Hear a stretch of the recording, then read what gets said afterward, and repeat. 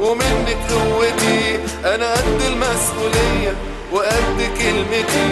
أنا مني لحظة هيعديكي هدفنه يا بلدي فيكي لو يقرب مننا. بلادي اللي اغلى عني من حياتي من ولادي. اللي كل مرة تحتاجيني أو تنادي ولما اكون قدام أنا بنام مننا.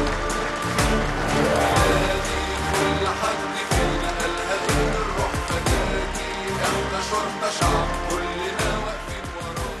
تمام يا فندم! أنا المقدم طارق عبد الوهاب. النهارده بتشرف بوجودي قدام سيادتك. واسمح لي أقول يا فندم إن هم يحاولوا يطفوا فرحة أهلنا بأول ذكرى لثورة يونيو المجيدة. وأنا وزمايلي ما ترددناش لحظة إننا نفديهم بأرواحنا. وعايز أقول يا فندم إن صحيح فقدت إيديا لكني ما فقدتش انتمائي الوطني. ولسه قلبي بينبض بحب بلدي. ولسه لساني بيهتف. تحيا مصر.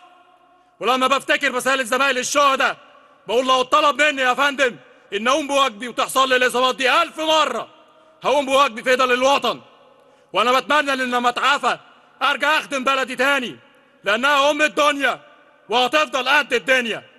وتحيا مصر تحيا مصر تحيا مصر.